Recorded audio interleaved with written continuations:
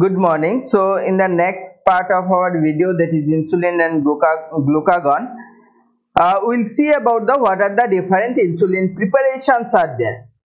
Now this insulin it is one of the important used as a drug in case of the type 1 diabetes mellitus. In case of the type 1 diabetes, uh, diabetes mellitus, there is the absolute deficiency of the insulin.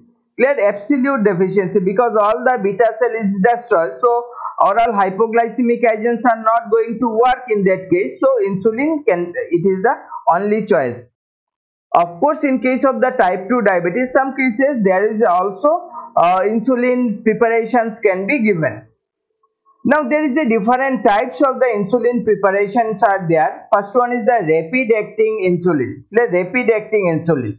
Now in case of the rapid acting insulin, generally uh, what is their uh, onset of action? 5 to 15 minutes. Within 5 to 15 minutes, the onset of action is there. Peak hour 30 to 90 minutes and duration of action 3 to 5 hours. Let 3 to 5 hours like under this it is uh, you can say that uh, insulin lispro insulin aspart and ins insulin glulisine now these are the drugs it can be given uh, before the meal just before the meal or 15 minutes before the meal it can be given that it can be given and these are the solution contains the neutral pH containing the crystalline zinc to increase the stability and shelf life this agent increase perpendial secretion of the insulin but you not, not used alone. Usually they are preferred along with the long acting insulin for the better effect.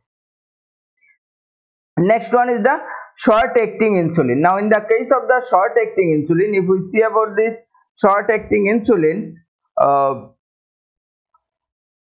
this short acting insulin, if you are considered this is the short acting insulin, what will happen? This is the clear solution of the neutral pH containing the crystalline zinc to increase the stability. And under this regular insulin is there which duration of action is 30 minutes to 1 hour.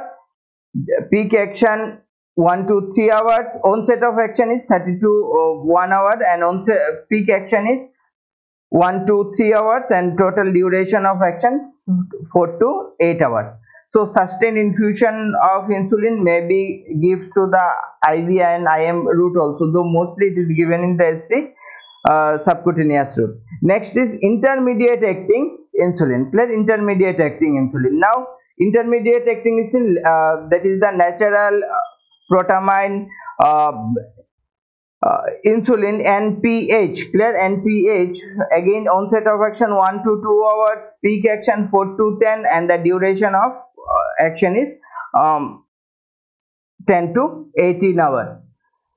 Next is uh, lente insulin again 3 to 4 hours onset 4 to 12 hours peak action and duration 12 to 18 hours. clear?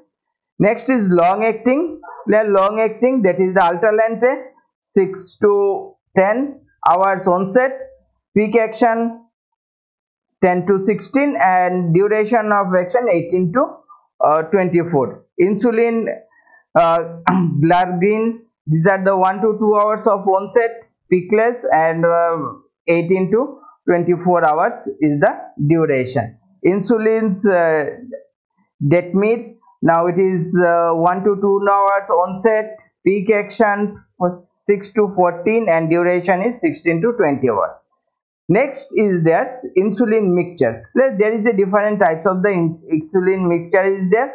For example, uh, 70 by 30 uh, human mix, 70 by 25 Lispro uh, analog mix, 70 by 30 aspartate analog mix and 50 by 50 human mix. So these are the different preparations are there. Now what are the problems with the uh, insulin injection? what is the side effect of the insulin injection they may call the uh, hypoglycemia this is one of the major problem with the insulin then major problem with the insulin they may suddenly decrease the uh, blood sugar level other than weight gain allergic reaction infection injection site abscess uh, uh, lipoatrophy insulin edema lipohypertrophy and insulin resistance are some of the common problems which are associated with the insulin preparation. So these are the some of the reference. Thank you.